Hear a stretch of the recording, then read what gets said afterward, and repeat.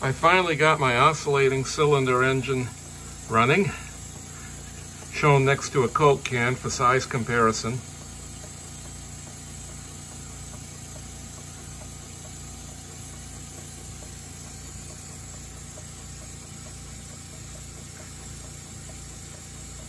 The castings and patterns were made by a friend of mine in Appleton, Wisconsin. Very nice running engine.